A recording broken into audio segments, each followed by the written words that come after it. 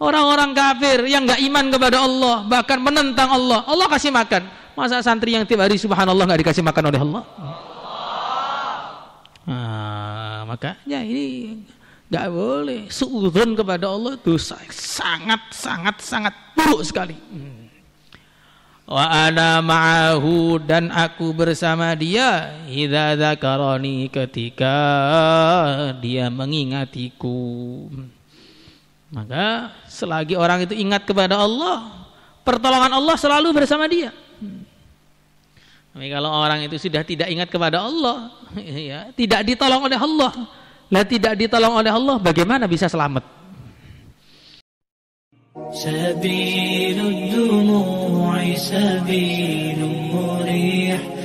Bismillahirrahmanirrahim.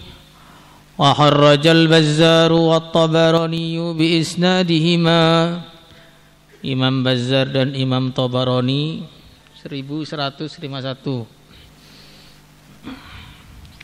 atau 53 49 mungkin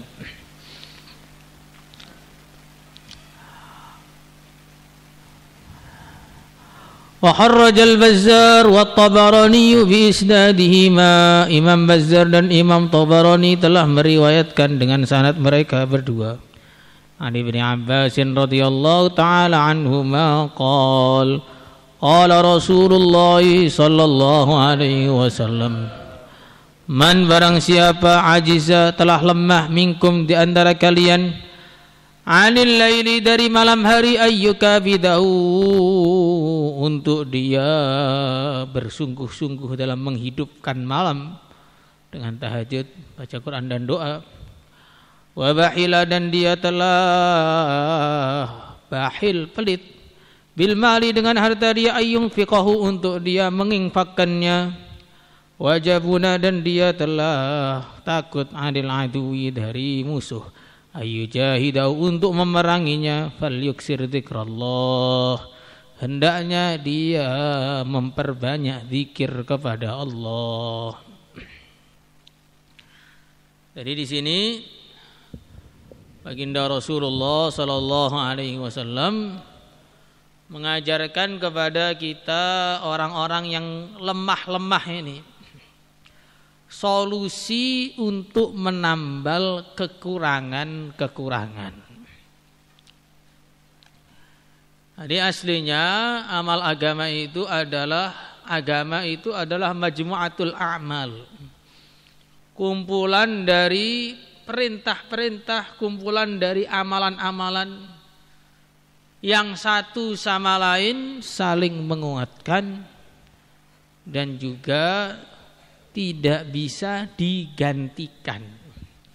Karena masing-masing itu punya kesan. Hmm. sebagaimana digambarkan anggota tubuh manusia ini anggota tubuh manusia itu tidak ada yang tidak penting. Bulu mata yang kelihatannya tipis itu saja juga penting. Apalagi bola matanya Kemudian nanti rambut itu juga penting, telinga juga penting, daun telinga juga penting. Bagaimana kalau orang punya telinga nggak ada daunnya, jadi kayak ayam. Maka semua tidak bisa dihentikan. Kamu nggak bisa bilang nggak punya mata nggak apa-apa, yang penting punya mata kaki kan nggak bisa. Nah, begitu juga amalan-amalan agama itu tidak bisa digantikan satu sama lain karena masing-masing itu punya tugas untuk memperbaiki penyakit hati dari masing-masing manusia. Orang yang pelit obatnya sodako, orang yang sombong obatnya hikmat, orang yang males obatnya suruh berjuang dan seterusnya dan seterusnya. Maka Seharusnya orang itu tidak memilih amalan.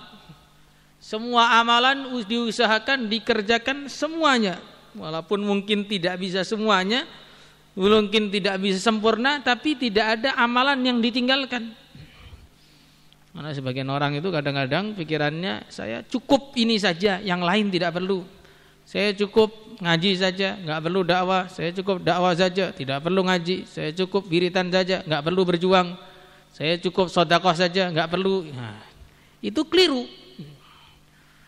Teori awalnya semua harus dikerjakan. Tetapi kalau memang orangnya itu sangat lemah, ajis. Ajis itu artinya apa? Ajis itu ada kemauan tetapi tidak ada kemampuan. Berbeda dengan kasel kalau kasel itu ada kemampuan tapi tidak ada kemauan. Kasel itu malas. Jadi malas itu ada kemampuan tapi tidak ada kemauan. Kalau ajas ada kemampuan tapi tidak ada kemampuan. Makanya dua-duanya sebenarnya sangat buruk. Sehingga baginda Rasulullah Sallallahu Alaihi Wasallam mengajari kepada kita doa Allahumma inni a'udhu bika minal ajzi wal kasal. Ya Allah, aku minta perlindungan kepada engkau dari sifat lemah. Pengen sebenarnya amal tapi nggak mampu. Atau males, mampu tapi nggak mau. Mampu tapi nggak mau itu bagaimana? Contoh mudahnya waktu subuh Waktu subuh itu suruh melek itu aslinya mampu, tapi pengennya merem. Nah, jadi mampu tapi nggak mau. Manusia sudah tidur dari jam setengah sebelas sampai menjelang subuh, kok masih ngantuk itu kan sebenarnya bukan manusia, koala. Itu. Nah, hidupnya 22 jam setengah tidur. Makanya man ajaza minkum 'anil laili ayyuka bidahu. Dia tidak mampu untuk sholat yang panjang-panjang, wiritan yang panjang-panjang di malam hari. Yang mana harusnya manusia itu kalau di malam hari dia itu melek. Sebagaimana firman Allah, kanu qalilan minal laili ma yahjaun. Para orang-orang yang soleh itu di antara sifatnya malam tuh sedikit tidur. Sebaliknya sifatnya orang-orang yang tidak dicintai oleh Allah bagaimana? Innallaha yubghidu kulla jawadin ja'dariyin sahabin fil aswaq jifatin bil lail. Di antara sifatnya orang yang tidak dicintai oleh Allah, orang yang dibenci oleh Allah, jifatin bil lail. Dia itu kalau malam batang tidur sampai kayak bangkai nggak bisa dibangunkan. Disiram pindah ke gerbang tiga. Nah ini termasuk tidak dicintai oleh Allah. Eh, hadisnya tadi itu jifatin billail sikap yang tidak dicintai oleh Allah malamnya itu dihabiskan seperti tidur saja. Hmm, digunakan untuk tidur. Makanya ibunya Nabi Sulaiman berpesan kepada Nabi Sulaiman ya bunai la tuksirin nauma fil lail fa inna kasratan naumi fil lail tada'ur rajula fakiran yaumal qiyamah. Atau kama jaa fil hadis. Baik anakku jangan banyak tidur di malam hari. Karena tidur di malam hari akan menjadikan kau melarat pada hari kiamat. Wabahila bil mali ayyun fiqah Bahil dengan hartanya, orang pelit. Khoslatani la yajtami'ani fi mu'minin al-bukhlu wa su'ul khuluq.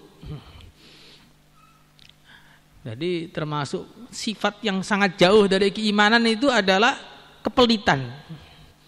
Jadi kalau orang pelit itu imannya sangat sangat sangat lemah. Makanya dikatakan dalam hadis wal bahil ba'idun minallah ba'idun minan nas ba'idun minal jannah qaribun minan nar. Nah, jadi kalau kamu pengen dekat di neraka gampang bahil saja udah dekat langsung. Pengen akrab dengan neraka caranya dengan bahil. Orang itu kalau bahil jauh dari ridho Allah. Jauh dari manusia. Karena manusia secara umum nggak suka dengan orang pelit kecuali sesama yang pelit malah disemangati biar tambah pelit maka ada orang bilang saya ini nggak pelit nggak ada keluarga saya yang bilang saya pelit nggak ada orang daerah saya yang bilang saya pelit Lah satu daerahmu pelit semua ya nggak saling menghina lah.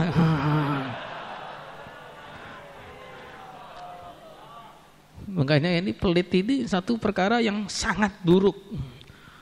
Wahal kana da'an adwa minal buhal kata baginda Nabi sallallahu alaihi wasallam.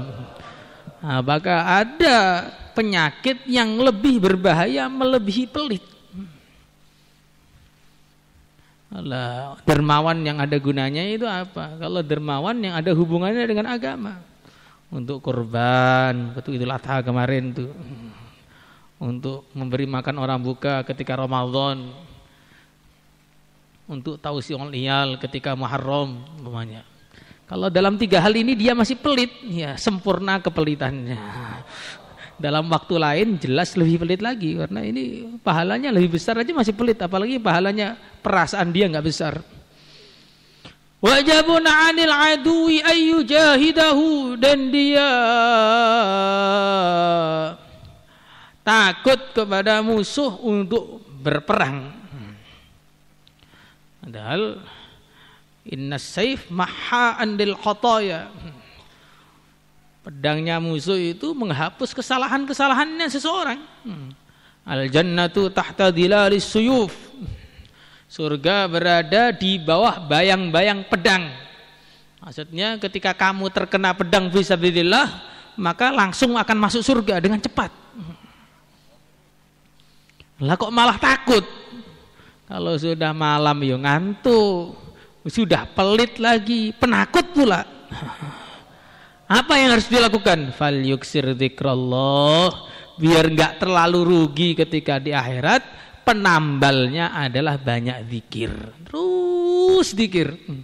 Biar apa? Biar tadi itu kekurangan-kekurangan yang sangat kurang tadi tidak terlalu merugikan. Ya sudah rugi, tapi biar nggak sempurna ruginya. Orang malam nggak pernah melek, hartanya nggak pernah dikeluarkan, hidup nggak pernah berjuang itu rugi. Tapi kalau ditambahi nggak pernah dikir, ruginya sempurna. Maka perlu ditambal.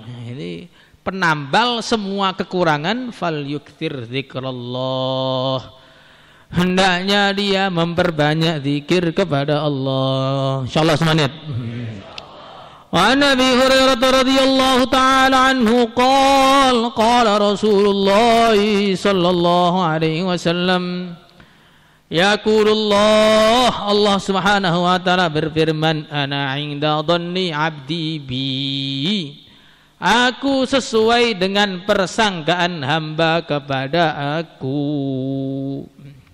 Hadis lain, fadunnu bi khaira maka sangkalah baik kepada aku. Maka orang itu harus selalu khusnudon kepada Allah. Allah memberi kita iman, memberi kita Islam. Bukan hanya diberi iman dan Islam, diberi ilmu agama, didudukkan di pesantren. Ini tanda Allah tuh cinta kepada kita. Kalau sudah dicintai Allah, masa masih cari cinta yang lain? Man wajadallaha falam yunihi fahuwa syaqi. Orang yang sudah mendapatkan ridha Allah, mendapatkan cintanya Allah tapi merasa masih kurang itu betul-betul manusia celaka. Nah, kalau sudah dapat ridha Allah, sudah dapat segala-galanya kok masih cari yang selainnya itu loh bagaimana? Makanya suudzon itu kalau kepada hamba dosa tapi kalau kepada pencipta hamba itu dosa besar. Makanya disebutkan dalam hadis yang diriwayatkan Hafidh Ibnu Hajar akbarul kabair suudzon billah atau kama hadis. Termasuk di antara dosa yang paling besar di antara dosa-dosa yang sudah besar itu adalah suudon kepada Allah. Nah, suudon kepada Allah itu bagaimana? Bentuknya suudon kepada Allah. Suudon kepada Allah itu di antara bentuknya merasa taat kepada Allah saja nggak cukup untuk menyelamatkan dia di dunia. Punya perasaan kalau ngaji saja bagaimana Allah ngasih saya makan kalau saya ngaji terus? Kalau saya taat terus kepada Allah nanti nasib saya masa depan saya bagaimana? Ini orang yang sudah suudon kepada Allah. Allah ngasih makan orang di surga jutaan tahun, triliunan tahun. Gak ada ujungnya saja Allah mampu. Masa ngasih kamu makan 60 tahun di dunia saja Allah gak mampu. Orang-orang kafir yang gak iman kepada Allah, bahkan menentang Allah, Allah kasih makan. Masa santri yang tiap hari subhanallah gak dikasih makan oleh Allah? Nah, makanya ini nggak boleh suudon kepada Allah itu sangat sangat sangat buruk sekali.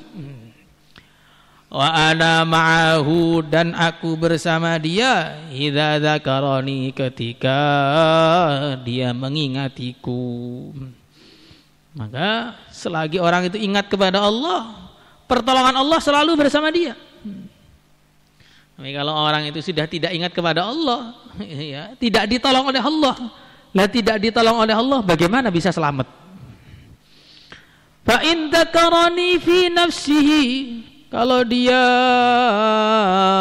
mengingatiku di dalam dirinya, zakartuhu fi nafsi, maka aku mengingatinya di dalam diriku. Nah, maksudnya ya wallahu alam fi nafsi maksudnya bagaimana?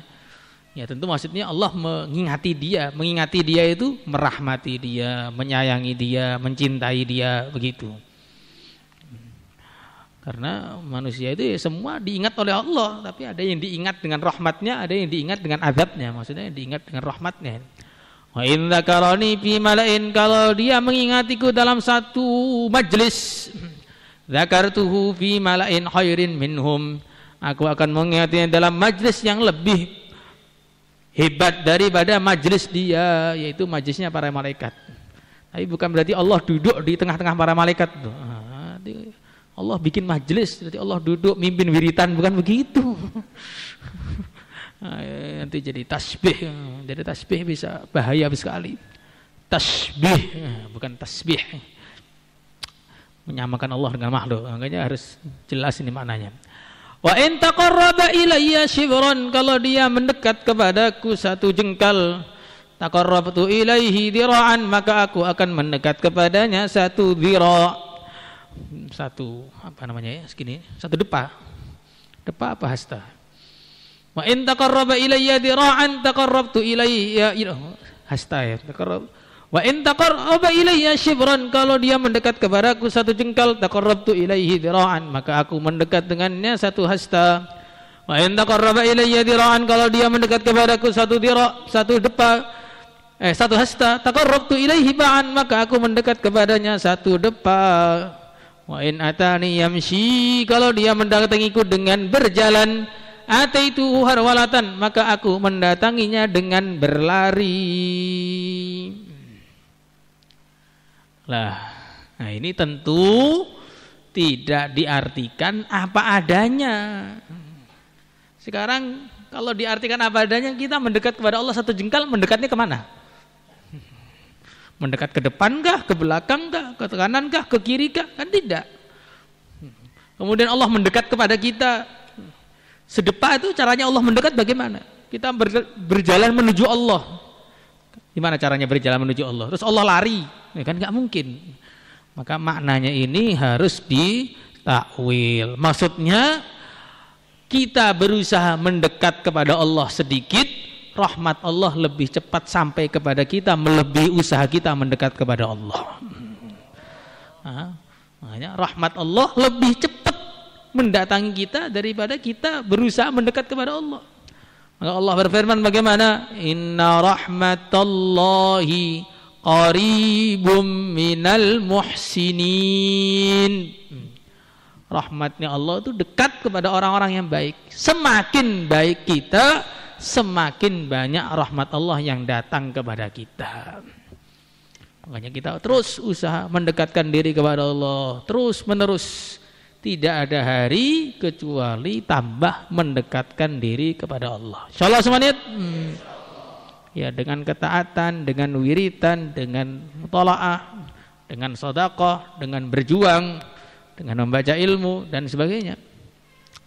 وعن ابن عباس رضي الله تعالى عنهما عن النبي صلى الله عليه وسلم قال قال الله تبارك وتعالى يا ابن آدم وهي أنا آدم إن ذكرتني خاليا kalau engkau mengingatiku dalam keadaan sepi-sepian zakartuka halian maka aku akan mengingatimu sepi-sepian ya.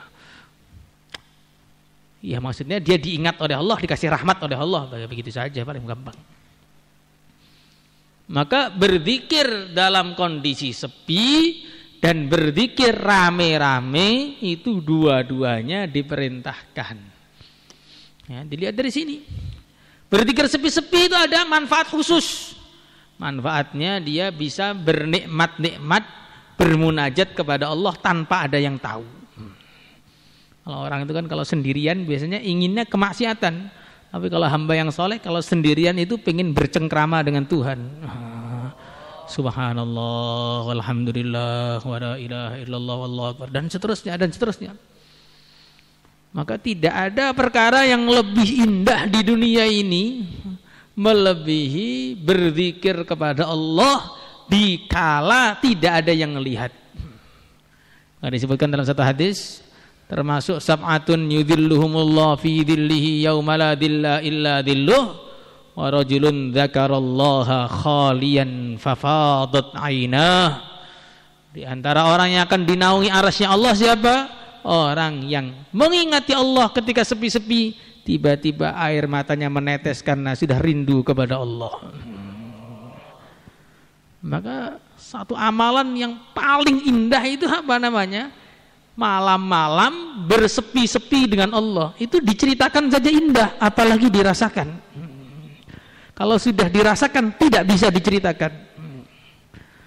Hanya bisa dirasakan oleh orang yang merasakan. Mandaqo arafa. Siapa yang sudah merasakan maka dia akan tahu bagaimana rasanya. Karena rasa itu nggak bisa diceritakan. Sejelas apa pun seseorang menerangkan rasanya sate ya tetap saja rasa sate itu nggak bakal ada di mulut kita. Lah begitu juga walaupun ada ulama yang begitu hebat menerangkan wiritan tuh rasanya begini tetapi kita nggak pernah wiritan. Ya nggak pernah. Apa tuh jadi ngomong gue ah, wiritan nih ruasaku subhanallah subhanallah bihamdi subhanallah bihamdika asyhadu an la ilaha illa nah, jadi kalau orang itu tidak pernah punya hubungan spesial dengan Allah ya jadi sepi dan sial dia makanya kita ini masing-masing harus punya hubungan spesial dengan Allah yang tidak ada yang tahu selain kamu dan Allah saja Makanya orang-orang dulu itu begitu, pengen punya hubungan spesial dengan Allah yang tidak pengen diketahui orang. Kalau diketahui orang dia susah. Kalau sekarang kan enggak. Kalau diketahui wiritan oh, baru tahu tuh kalau kamu, kalau saya ini wali. Nah, ya wali-wali daya. Kalau dulu tidak. Jadi ada orang seorang budak dia setiap malam enggak pernah tidur. Wiritan terus dan tuannya juga enggak tahu. Maka suatu hari tuannya malam-malam tuh melek pengen nyari budaknya. Ternyata budaknya itu sedang di kamar wiritan, nangis habis-habisan. Maka tuannya merasa gak enak. Wah ini budak saya kok lebih soleh daripada saya. Ini bahaya nanti di akhirat. saya punya budak yang lebih soleh daripada saya. Dah besok pagi saya merdekakan saja. Akhirnya besok pagi dipanggil Fulan, kamu saya merdekakan. Loh kenapa kok dimerdekakan? Tadi malam saya lihat kamu wiritan, saya nggak enak punya budak yang ahli wiritan begitu. Maka dia langsung teriak, Ya Allah, hubunganku dengan engkau sudah ketahuan, Ya Allah, saya nggak pengen hidup di dunia lagi. Langsung mati seketika. Nah ya kalau gitu, kalau kita kan tasbihnya di luar, crack. Subhanallah, subhanallah. Pengen kelihatan wali, padahal cuma megang doang. kalau dulu Hafid Ibnu Hajar Tasbihnya itu disembunyikan dalam apa nama lengan bajunya itu sembunyi. Kalau sampai jatuh sedih, ketahuan wiritan itu sedih. Kalau kita kan kalau ketahuan bawa HP baru sedih, ketahuan ngeluyur sedih itu umbruan begitu. umbruan itu biasa. Kalau ketahuan wiritan sedih ini betul-betul wali yang tersembunyi. Tapi jangan merasa loh, oh saya tuh ternyata. Wa idza dzakartani fi mala'in. Dan apabila engkau mengingat kamu mengingatku dalam satu go, satu kelompok satu majlis zakartuhu maka aku zakartuka aku akan mengingati kamu fi mala'in dalam sekelompok khairin yang lebih baik. Minal ladina tadkuruni fihim dari kelompok yang kau mengingat kamu mengingatku di situ kalau zikir bersama-sama itu apa faedahnya? Ya, faedahnya biar lebih semangat. Lah kalau sudah bareng-bareng masih ngantuk terus caranya bagaimana biar semangat? Dilepas kepalanya. Salatullah salam